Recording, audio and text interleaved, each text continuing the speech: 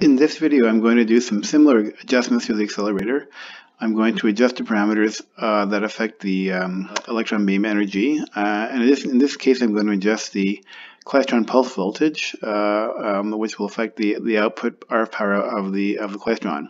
So this is different than adjusting the input RF power because now we're adjusting the, the, the pulse which, which directly accelerates the, the electrons through the klystron.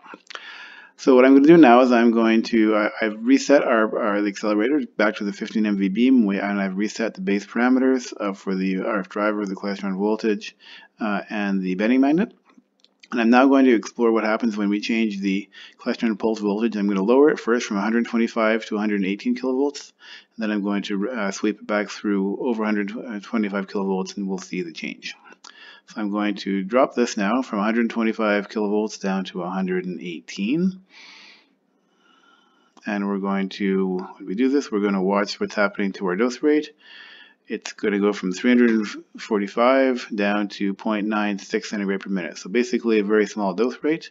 And that's because we have a very low um, uh, target current, and that's because we have a very low um, RF power coming from the klystron, which is only producing 13.23 MeV electrons, whereas the bending magnet is letting uh, 15 MeV electrons go through.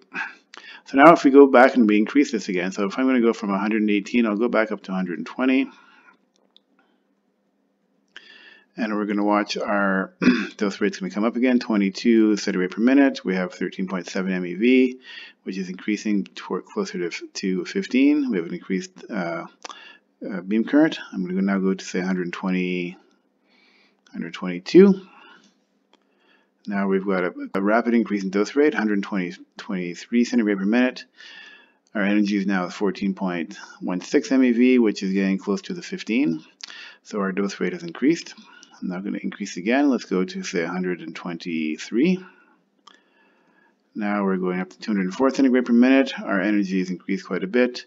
14.3 uh, MeV, which is closer to our 15, and then uh, which give us a higher dose rate. Now let's go to 124. For the klystron pulse voltage, now we're at 284, 14.55 MeV, uh, and then uh, which which is getting closer to 15. Let's go to now 125, which is our starting point. So we get back to our original starting point. We have 14.73 MeV electron beam from the accelerator. If we go to 126, now we have 14.9 MeV. We have a dose rate of 375.9, which is getting quite high. If I go to 127, we're going. We now have a. We've gone past 15 MeV, so now our dose rate is 375.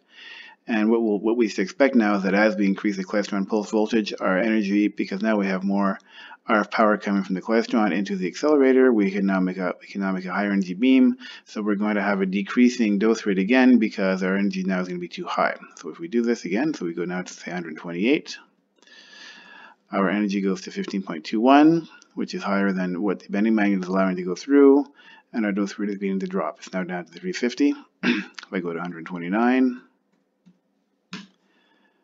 we now have, have, a 300, dose rate of 310, and that's because our energy is getting got, gotten too high.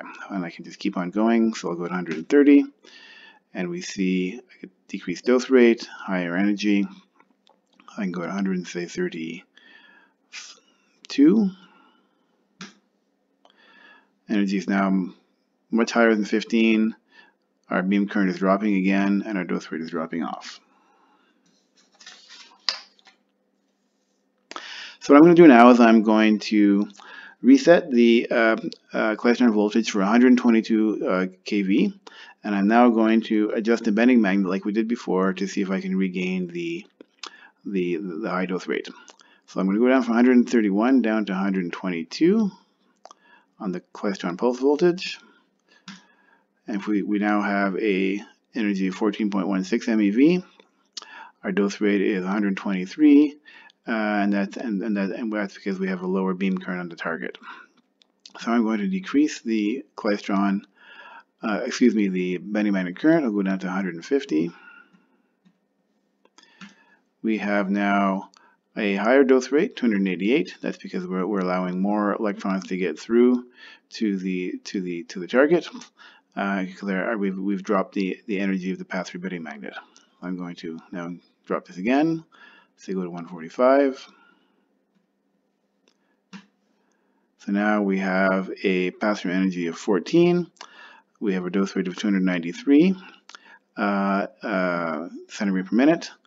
Uh, and, uh, and so, so, but now we see that our, our energy of the electrons getting to the target is lower now than what the the accelerator electron energy is, and so we see that if we keep on decreasing the bending magnet current, what we what should happen is we'll have a decrease in dose rate because now we're looking for an even lower energy to go through the bending magnet. So when I hit enter now, our dose rate will drop off even further.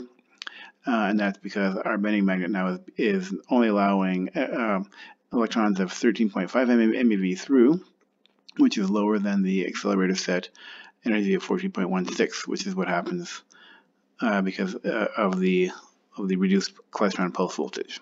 So this is a similar uh, scenario as last time when we just adjusted the RF driver to the klystron. So what we're what we've done is by adjusting the RF power, we change the electron beam energy coming from the accelerator, uh, which changes our the amount of the the amount of electrons which strikes the target due because the because the without changing the bending magnet to compensate for that, we will have a reduced um, uh, target current, which affects our dose rate. So what we'll do in the next uh, lecture is we will explore a similar effect, where, whereas we're going to, in this case, we're going to leave the RF power constant, and we're going to change the amount of electrons going into the accelerator, and we're going to see the, what, what effect that has on the dose rate for the accelerator.